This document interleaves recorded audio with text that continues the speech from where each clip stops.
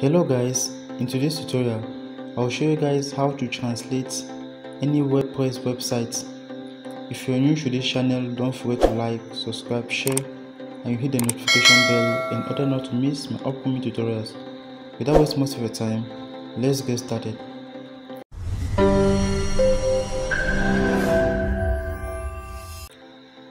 So the first you need to do is that you need to go to your WordPress website dashboard. Once you're your, once you are on your dashboard, you go to what at plugins. Click on it. Once you are there, you click on you search for this plugin called G Translator. Once you get there, you simply install the plugin. Once installation is complete you click on what? Activate. So after which you scroll down to setting. That's you can see GTranslate. You click on it.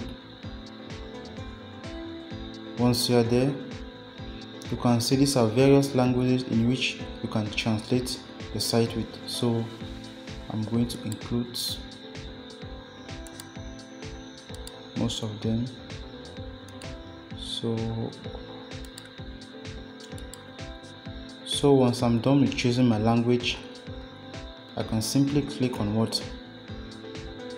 Where i want my the language icon to, to appear on my site. So i'm going to click on it on the primary menu on the secondary menu. So I'm going to click on the first on the primary menu. Once I'm done with that these are the very position that you want it. So it depends on you what you want. So I'll simply leave it that way. Once I'm done with that I'll go and save it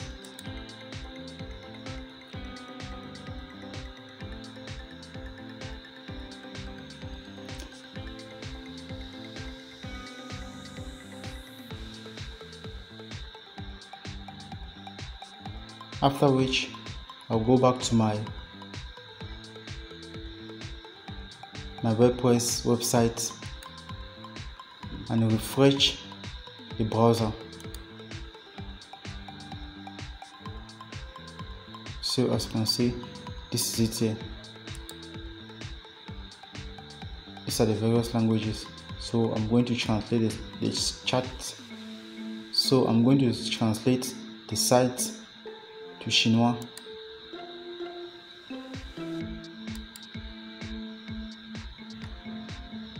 So that's it. I've translated the site or I can see the site to change the site language. That's it. So that's it. Change it. Thank you for watching.